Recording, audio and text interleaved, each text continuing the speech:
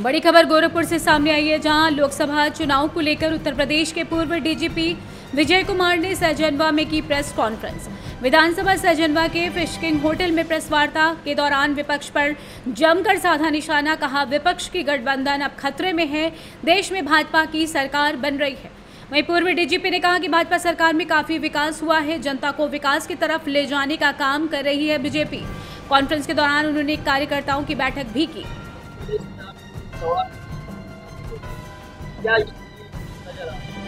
स्थिति बहुत अच्छी है और मेरा पूरा विश्वास है कि भारतीय जनता पार्टी को चार सौ से ज़्यादा सीटें मिलेंगी। और जो मेरे आने का जो विशेष उद्देश्य था कि अभी बीच में जो विरोधी दल है, वो सभी भ्रांतियाँ फैला रहे हैं कि जैसे ही चार सौ पार करेगी या भाजपा को बहुमत मिलेगा, वैसे ही वो संविधान को खत्म कर देंगे या रिजर्वेशन को खत्म कर देंगे। तो ये भ्रांतियाँ इसलिए फैलाई मूलहीन तथहीन बातें हैं। और इसलिए फैलाई जा रही ताकि वोट्स को डाइवर्ट किया जा सके, लोगों को, जो वीकर सेक्शन को दिग्भ्रमित किया जा सके। तो उसके बारे में मुझे विशेष रूप से कहना है, ये नितान्त मूल है। और कानून जो भारत का संविधान है इस प्रकार से बनाया गया है कि जो मूल ढांचा है, वो बदला नहीं जाता। कई बार प्रयास हुए, लेकिन शिवानंद भारती केस में तय हुआ कि आज जो मूलभूत ढांचा है ना, उसको न्यायपालिका बदल सकती है, ना कार्यपालिका, ना विधायिका। कोई भी उसको बदल नहीं सकता है, वो रहेगा क्षुण रहेगा। और बाकी छोटे मोटे परिवर्तन होते हैं, जो आवश्यक हैं व्यवहारिक हैं उनको परिवर्तन किया है, किया गया है।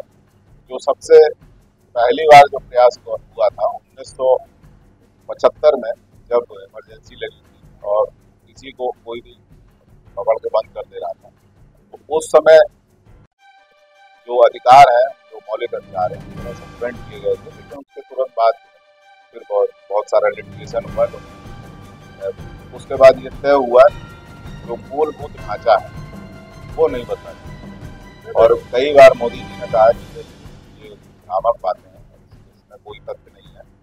तो हमें उन सभी लोगों को ये बताना है इस तरह का प्रचार कर रहे हैं या जो इस तरह के प्रचार से प्रभावित हो रहे हैं, उनको विशेष बताना है। इसी प्रकार से रिजर्वेशन के बारे में उन्होंने बहुत माननीय मोदी जी ने बहुत स्पष्ट रूप से कहा है कि रिजर्वेशन चलेगा चल रहा है और उसमें किसी प्रकार का बदलाव नहीं हुआ।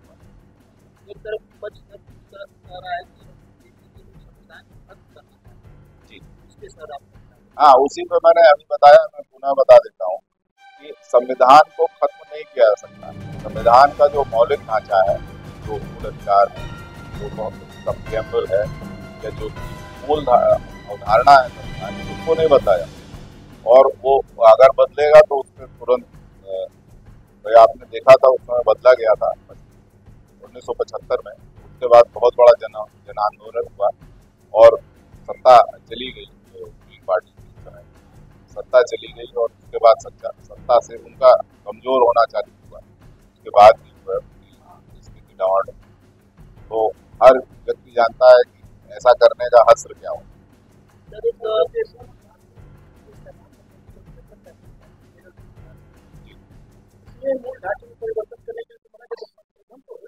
संशोधन हो सकता है, लेकिन जो मूल ढांचा है, नहीं, वो तो कई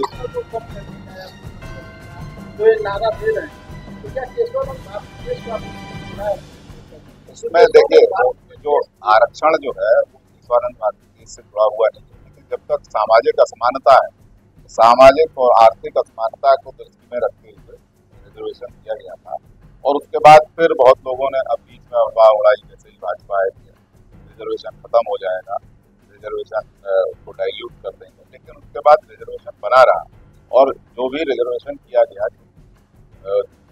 सामान्य वर्ग के जो कमज़ोर तबके के लोग हैं उनके लिए रिजर्वेशन किया गया ना कि ये रिजर्वेशन खत्म किया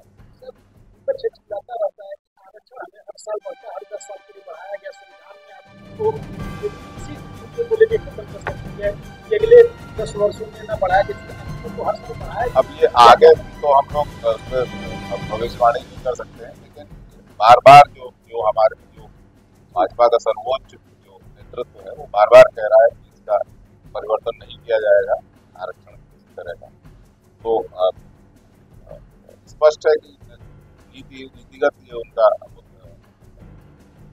उनका स्टैंड है और ये बना रहा है। ऐसे चलता है। यही नीतिगत स्टैंड है। अभी तक यही स्टैंड है और इतने सीनियर लोग अगर कह रहे हैं तो लोगों को स्वीकार करना चाहिए के को कि को जी बिल्कुल चार सौ पार करे। और अच्छी स्थिति है और उसका जो विश्लेषण है वो आप जान सकते हैं। बहुत बटा हुआ है। वैसे बहुत सी पार्टी है जिनका तो आधार ही खत्म हो गया है तो कुल मिला के है?